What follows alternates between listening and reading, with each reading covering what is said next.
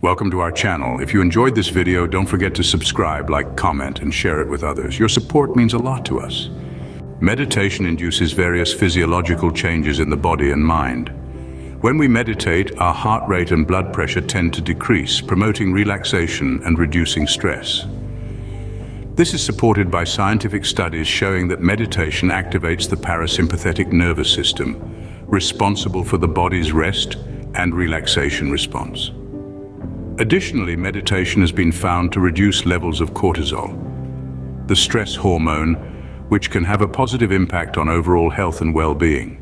From a biological perspective, regular meditation can lead to structural changes in the brain. Studies have shown that meditation can increase gray matter density in brain regions associated with learning, memory, and emotional regulation. These changes can enhance cognitive function and emotional resilience over time.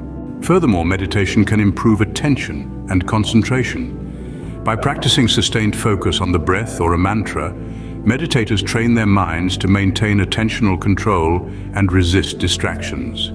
Another benefit of meditation is its potential to reduce symptoms of anxiety and depression. Studies have demonstrated that regular meditation practice can decrease activity in the default mode network, a brain network associated with self-referential thoughts and rumination, which are common features of anxiety and depression. Moreover, meditation can foster a sense of interconnectedness and empathy.